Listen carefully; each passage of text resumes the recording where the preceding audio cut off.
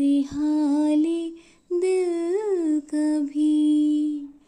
और वो समझे नहीं कि खामोशी क्या चीज़ है। और वो समझे नहीं कि खामोशी क्या चीज़ है।